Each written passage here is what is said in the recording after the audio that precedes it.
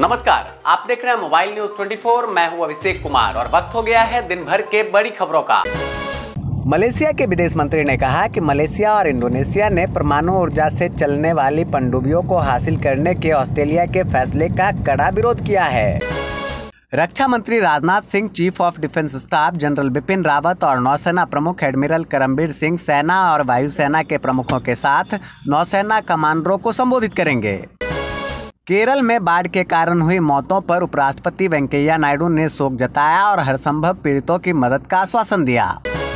महाराष्ट्र में हिंदू धार्मिक और धर्मार्थ बंदोबस्ती विभाग द्वारा अपने कॉलेज में विभिन्न पदों के लिए केवल हिंदुओं को आमंत्रित करने वाले दिए गए विज्ञापन से राज्य में हंगामा खड़ा हो गया है, जिससे कई व्यक्ति और संगठन इसके खिलाफ सामने आ गए हैं। विभिन्न भारतीय प्रौद्योगिकी संस्थानों के शोधकर्ता वाहनों के लिए अपनी तरह के पहले स्मार्ट स्पीड वार्निंग सिस्टम को विकसित करने की दिशा में काम कर रहे हैं, जो सड़क के बुनियादी ढांचे और भौगोलिक स्थिति के आधार पर चालक को वाहन की तेज गति से हो सकने वाली दुर्घटनाओं से बचने के लिहाज से सतर्क करेगा। केरल के इडुक्की डैम के लिए ऑरेंज अलर्ट जारी किया गया है। वहीं हिमाचल प्रदेश में आज बर्फबारी दर्ज हुई है। लोगों को बचाने के लिए सेनाएँ लगी हुई है और सेना द्वारा रेस्क्यू ऑपरेशन जारी है। पंजाब, हरियाणा में किसानों ने रोकी रेल। वहीं यूपी में पीएसी की 160 कंपनियाँ की गई तैनात। पाँच राज्यों के विधानसभा चुनाव को लेकर भाजपा की अहम बैठक हुई, जिसमें कई मुद्दे पर चर्चा की गई। केरल के राज्यपाल आरिफ मोहम्मद खान ने कहा कि अल्पसंख्यक और बहुसंख्यक शब्द ने बंटवारे का दर्द दिया है। कांग्रेस नेता मल्लिकार्जुन खड़गे ने केंद्र सरकार पर हमला करते हुए कहा कि हाल ही में सीडब्ल्यूसी की बैठक में कई मुद्दे पर चर्चा की गई और पेट्रोल, डीजल की कीमतों में वृद्धि, कृषि कानून, लखीमपुर खीरी घटना जम्मू कश्मीर की स्थिति, अर्थव्यवस्था सहित कई मुद्दे पर चर्चा करने के साथ प्रस्तावों को पारित किया। आगरा के थाने में चोरी हुई। चोरों ने एक नहीं, पाँच दरवाजे तोड़े और 25 लाख रुपए पार कर लिए। बिहार के मुख्यमंत्री नीतीश कुमार के जनता दरबार में दूर दूर से फरियादी पहुँचे। वही शिकायतें सुनकर मुख्यमंत्री नीतीश कुमार ने कार्रवाई के आदेश दिए। इस दौरान कुछ ऐसे मामले भी रहे जिन्हें सुनकर मुख्यमंत्री चिढ़ गए और फरियादी को हिदायत दे डाली। दिल्ली हाईकोर्ट ने भरण पोषण के एक मामले में अहम टिप्पणी करते हुए कहा कि बेटे के 18 साल के होने के कारण पिता को उसकी पढ़ाई के खर्च की ज़िम्मेदारी से मुक्त नहीं किया जा सकता। पंजाब में रेलवे ट्रैकों पर जमे किसान पाँच ट्रेनों को रोका, जिससे यात्री हुए परेशान। कांग्रेस कार्य समिति की बैठक में सोनिया गांधी के रुख ने हरियाणा में पार्टी की तस्वीर तय कर दी है। जिसमें कुमारी सैलजा का प्रदेश अध्यक्षा का पद सुरक्षित रहेगा। प्रदेश कांग्रेस में हुड्डा, सैलजा, कुलदीप, सुरजेवाला व किरण के सामूहिक नेतृत्व का फॉर्मूला ही चलेगा। जम्मू कश्मीर के पुंछ में आतंकियों के साथ मुठभेड़ में शहीद उत्तराखंड के सूबेदार अजय सिंह रोतेला के पार्थिव शरीर का ऋषिकेश में सैन्य सम्मान के साथ अंतिम संस्कार हुआ। झारखंड के रांची में मतदाता सूची में नाम जुड़वाने के लिए विशेष अभियान चलेगा। इसे लेकर एक नवंबर से विशेष संक्षिप्त पुनरीक्षण कार्यक्रम की शुरुआत हो सकेगी। छत्तीसगढ़ का रायपुर थप्पर कांड मामला पहुँचा थाने। रायपुर में एनएसयूआई नेता और छात्रा ने विश्वविद्यालय में जरा ताबड़तोड़ थप्पड़ थप्पड़ का वीडियो जमकर हो रहा है वायरल।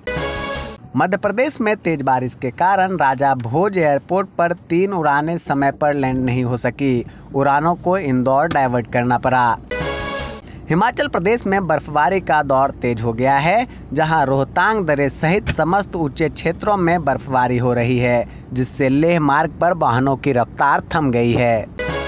एकजुट जम्मू के प्रधान और एडवोकेट अंकुर शर्मा ने कहा कि 370 हटने के बाद भी जम्मू के साथ इंसाफ नहीं हुआ और जम्मू आज भी कश्मीर के दबदबे में भेदभाव का शिकार हो रहा है। अलग जम्मू राज्य को एकमात्र हल करार देते हुए उन्होंने कहा कि जब तक जम्मू को अलग राज्य का दर्जा नहीं मिलता, तब तक जम्मू के लोगों के साथ भेदभाव होता रहेगा।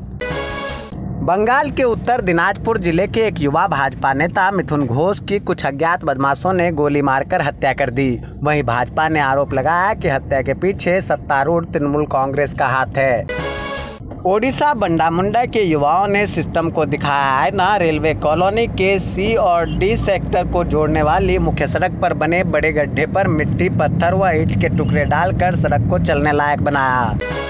महाराष्ट्र में अपने सरकारी आवास में भारतीय सेना की एक महिला अधिकारी द्वारा फांसी लगा लेने के कुछ दिन बाद पुलिस ने ब्रिगेडियर स्तर के एक अधिकारी के खिलाफ आत्महत्या के लिए उकसाने का मामला दर्ज किया है। गुजरात के हिंदू युवक ने मुस्लिम प्रेमिका से विवाह करने के लिए हाईकोर्ट से मांगी सुरक्षा। गुजरात में धार्मिक स्वतंत्रता संशोधन कानून बनाए जाने के बाद अंतर धार्मिक विवाह करना अपने आप में अपराध हो गया है। उत्तर प्रदेश के वाराणसी में दो साइंस सिटी कंपनी के मुख्य कार्यकारी अधिकारी राजीव कुमार सिंह को जयपुर के बजाज नगर स्थित एक होटल से वाराणसी में दो करोड़ रुपए के फर्जीवाड़े के आरोप में गिरफ़्तार किया गया है। पके केले की तरह हरे केले भी दिल की सेहत के लिए काफ़ी मददगार होते हैं। यह पोटेशियम का बेहतरीन स्रोत है और एक ऐसा खनिज है जो मांसपेशियों के अनुबंध और हृदय को नियमित रूप से धड़कने में मदद करता है। यूजीसी नई दिल्ली ने एकेडमिक कंसल्टेंट के पद पर वैकेंसी निकाली है। अप्लाई करने के लिए उम्मीदवारों को आधिकारिक वेबसाइट www.ugc.ac.in/jobs पर जाकर ऑनलाइन आवेदन करना होगा। आवेदन करने की अंतिम तिथि इकतीस अक्टूबर है। पूर्व दिग्गज भारतीय बल्लेबाज बीबीएस लक्ष्मण ने राष्ट्रीय क्रिकेट अकादमी का प्रमुख बनने से इनकार कर दिया है। आपको बता दें कि उनसे बीसीसीआई ने संपर्क किया था। कोरोना पॉजिटिव हुई एक्ट्रेस पूजा वेदी कहा सावधानी की ज़रूरत है, घबराने की नहीं। शहनाज गिल का तस्वीरों में दिखा दिलकश अंदाज, हँसते मुस्कुराते देख फैंस दे रहे हैं दुआएँ। तो ये थी दिन भर की बड़ी खबरें। ऐसे ही खबरों में बने रहने के लिए आप मोबाइल न्यूज़ 24 को अभी सब्सक्राइब कर लें। सब्सक्राइब बटन के साथ लगे नोटिफिकेशन बेल को दबा दें। वीडियो को लाइक और ज़्यादा से ज़्यादा शेयर करें ताकि देश और दुनिया की तमाम खबरों से आप और आपके जानने वाले रह सके अपडेट।